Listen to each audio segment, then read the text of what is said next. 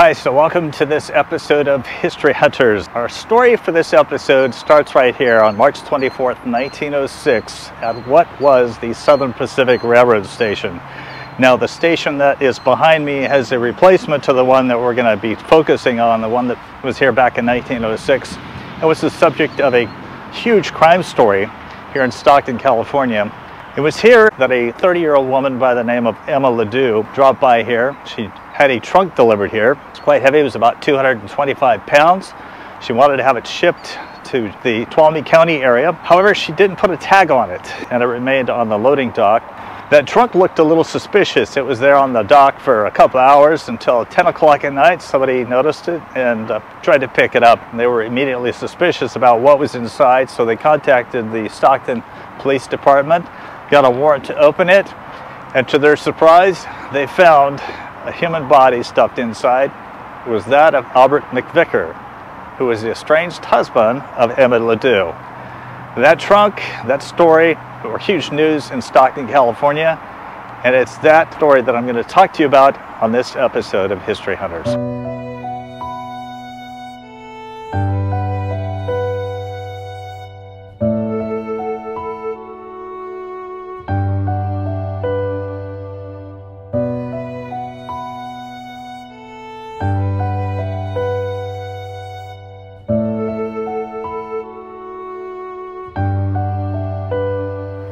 So having researched this story for the last couple of months, I am uh, kind of in awe of the fact that I'm here at this Amtrak station.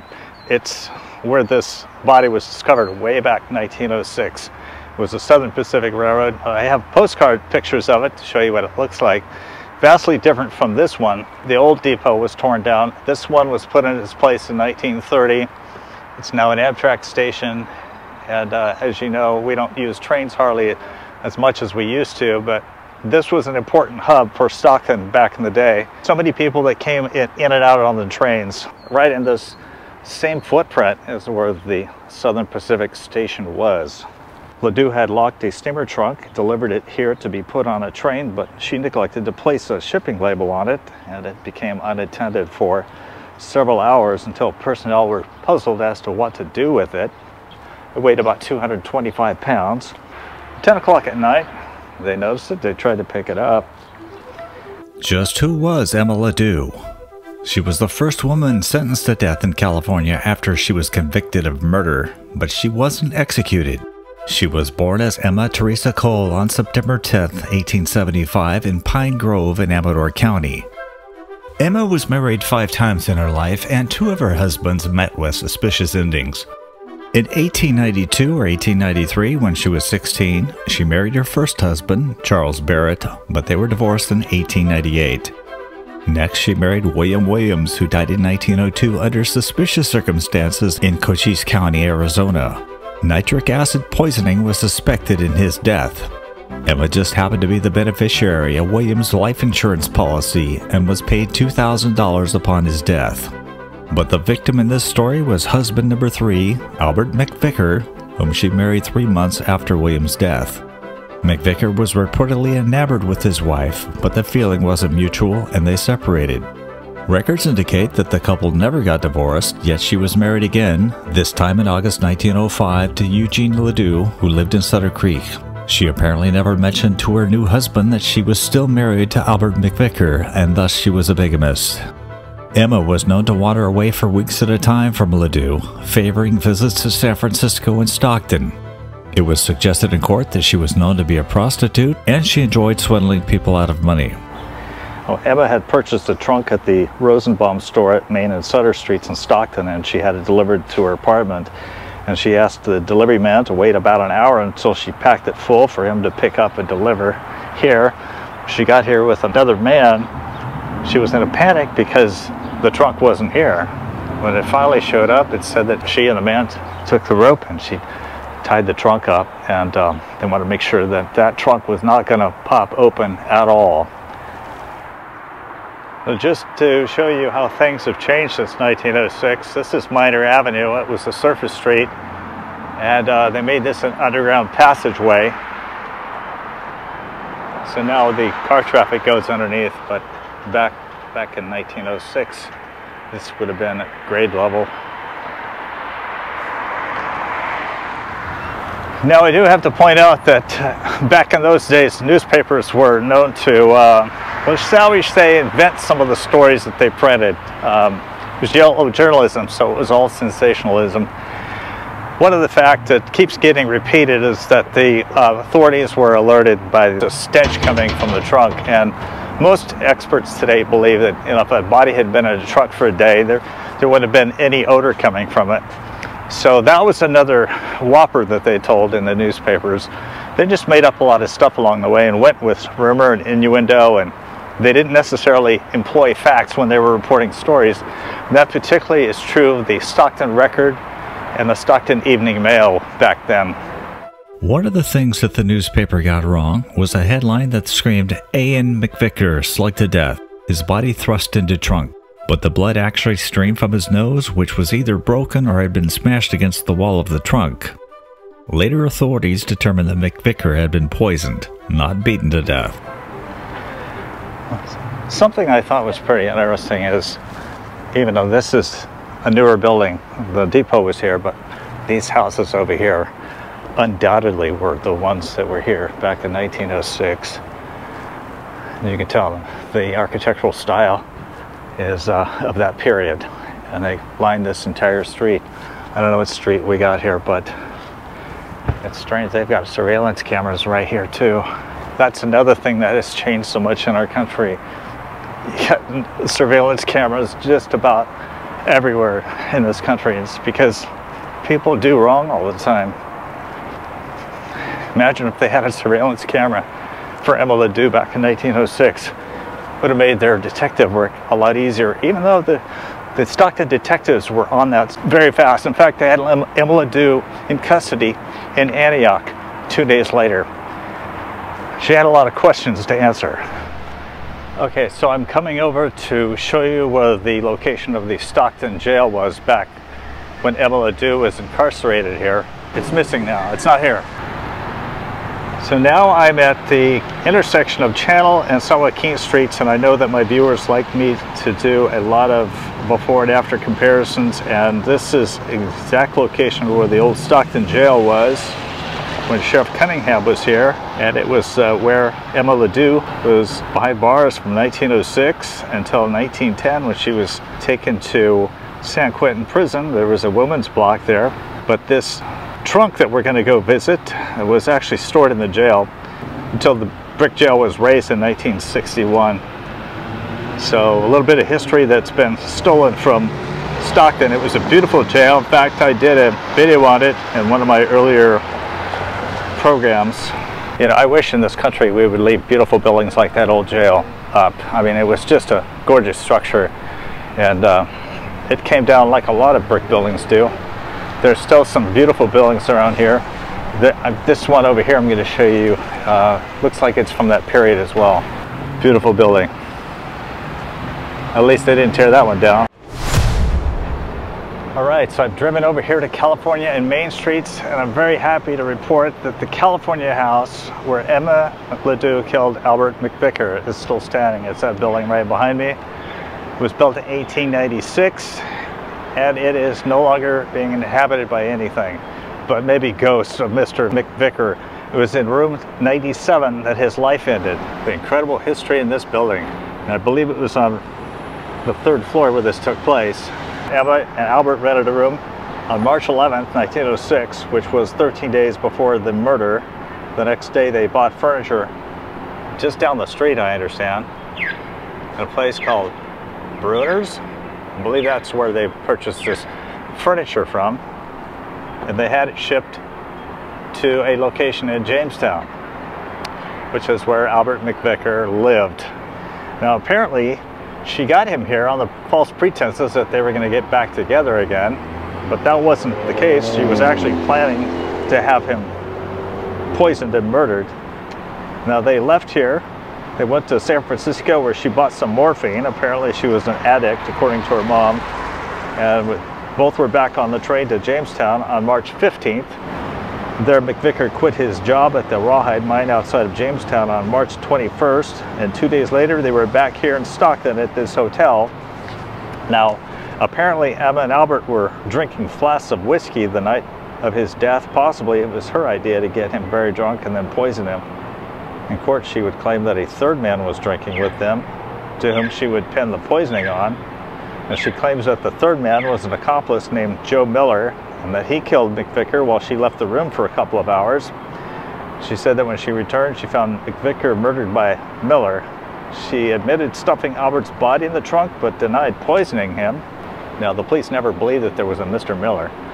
Thought it was her convenient way of trying to pin the murder on somebody else. One of the telling aspects of her guilt was the fact that after this murder took place, she went down to the furniture store. She asked if furniture could be delivered to a different location, which was the Ledoux residence outside of Sutter Creek. So kind of makes her look complicit in this entire thing.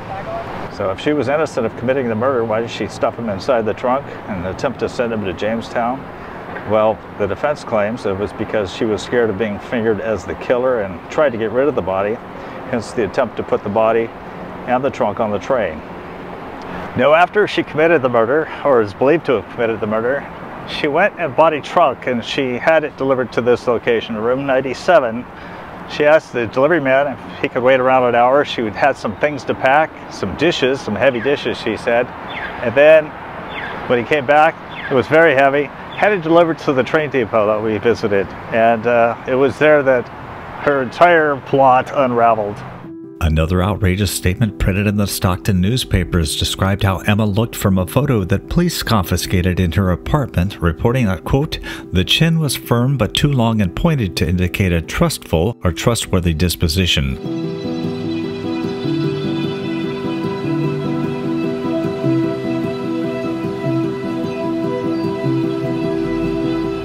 Lots of street art here. I gotta tell you, kind of hard to say no to Jesus from there. I have come to the intersection of Weber and California streets because the newspapers reported that Emma Ledoux purchased her rope for the trunk in this location and uh, I can't say for sure. It's possible that that apartment building over there had a ground floor of a commercial, maybe a shop beautiful buildings that are still here. This is definitely an older part of Stockton. She came down here to buy the rope. She paid 25 cents for it, and the clerk at the time suggested that a woman who bought that amount of rope would probably be suspected of trying to commit suicide, and she laughed and went about her way, and that rope was used to tie the trunk to secure the body of Mr. McVicker. That ugly day in Stockton.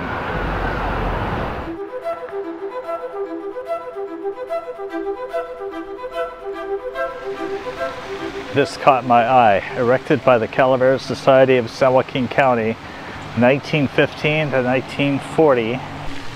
Well, this is probably the part of the video that you're all looking forward to. The actual trunk that Emma used to stuff her strange husband's body in. and it's got some blood stains. It's uh, kind of gross. Well, I walked up here and it's closed. but they open at 1.30, so we're cool. Certainly has some loud geese around here.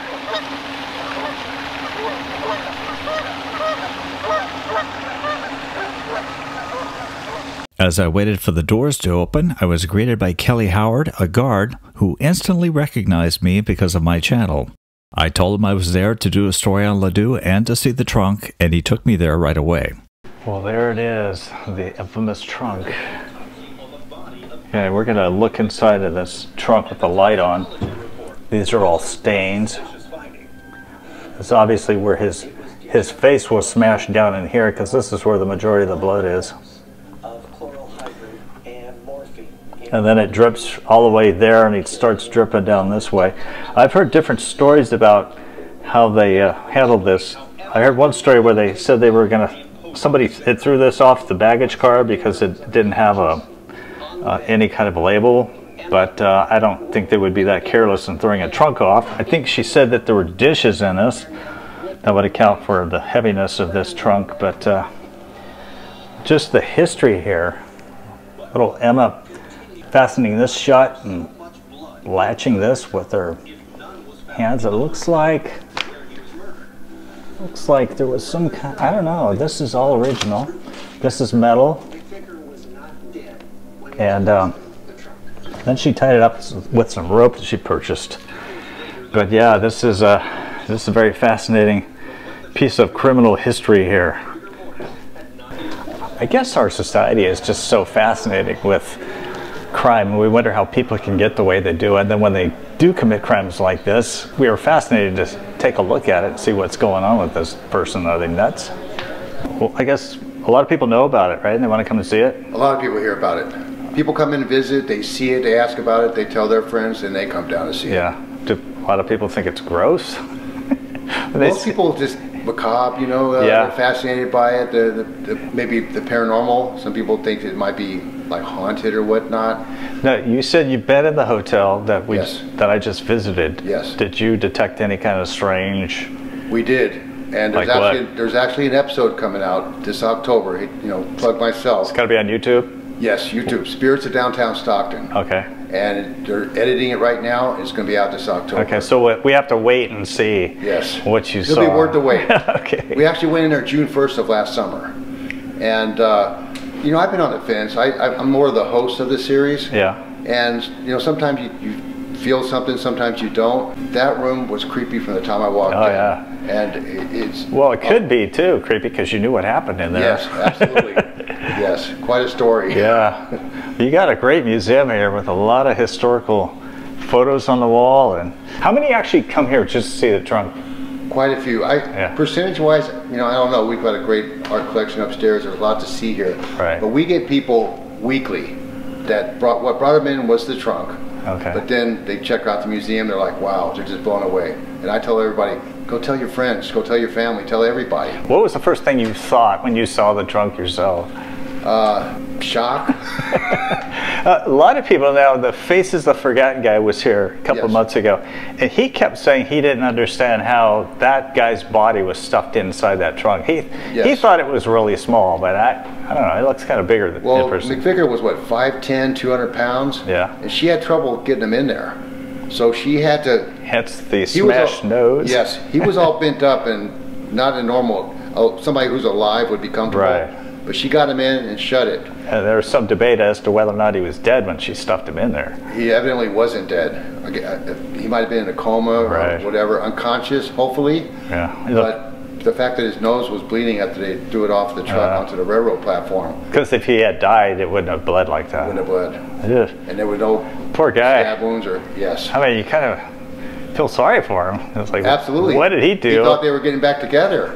you know, she was already married to Ledoux by then, but she was still legally married to McVicker. Yeah. I think she had lured him to Stockton. She absolutely did. She convinced him to quit his job at the mine, yeah. pull out his money, and they bought a bunch of furniture that were going to get back together and ship it to Jamestown to her parents. Right, farm. right. But as soon as he's dead, she goes down and changes the address to Ledoux's house. Yeah. I mean, and then she takes them to the railroad and says ship to Jamestown. Yeah. She gets on a train and goes to San Francisco. Uh, kind of looks bad for her. Piece of work.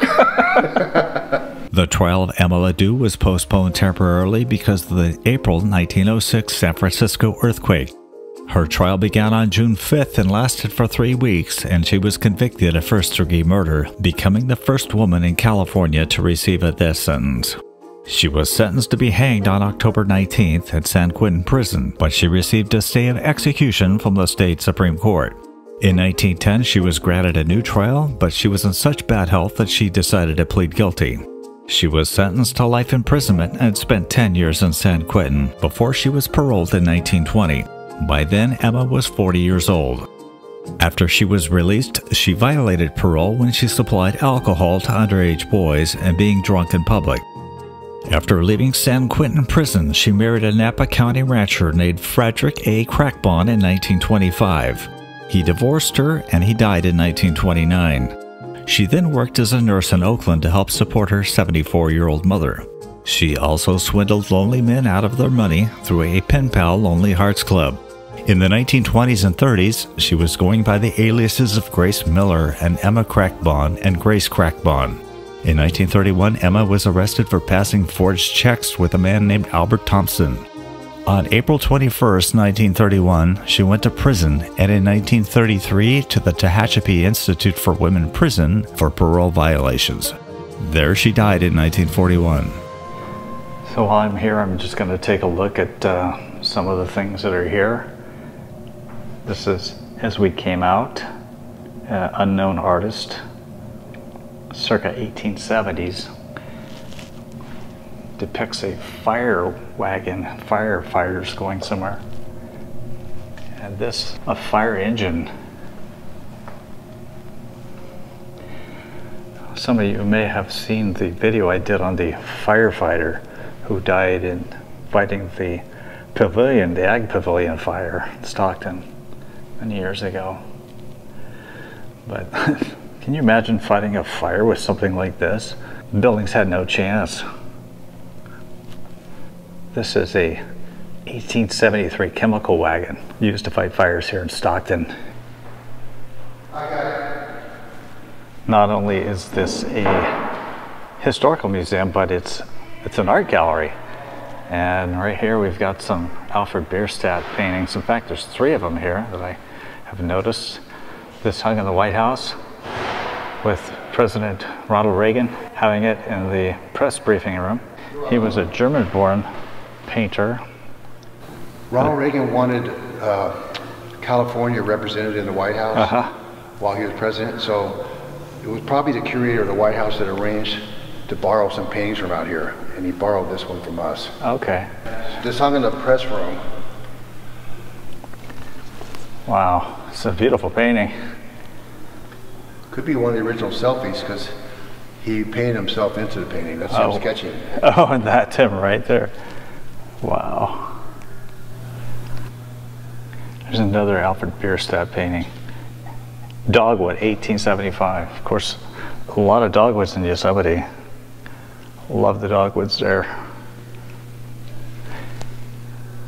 Many of his paintings date back to the 1860s and 1870s. At the time, he looked like this. He died in 1902 at the age of 72 and is buried in a simple grave in the rural cemetery of New Bedford, Massachusetts. Now, in this museum, they also have a Holt Caterpillar tractor. As you know, Mr. Holt was from Stockton. We visited his grave at the Stockton Rural Cemetery, but he's the one that uh, basically invented this for farmers, and it led to the invention of the tank that we use in World War I. Crazy history. Here's a combine next to it. It's pretty cool. Here's a little bit more about that tractor, developed and patented by Benjamin Holt, 1904 here in Stockton, California. And look at this, a picture of him with the first tank. Oh my gosh. That's Mr. Holt right there.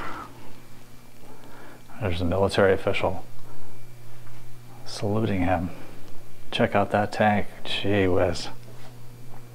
I am so glad I stopped by the Haggin Museum. Uh, the gentleman opened the door for me, knows this channel, and he told me something interesting. Now, I need to let you know something.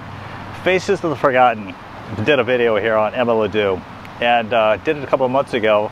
And I saw that he was here and I thought, I can't believe it because I've been working on this story, this video for a long time. And so I don't want any of you thinking that I did Emma do because of him. But when he was here, the docent told me that he mentioned my channel. And the Faces of Forgotten guy said, don't tell him I was here. He said, so I know that he watches your channel. I thought that was hilarious.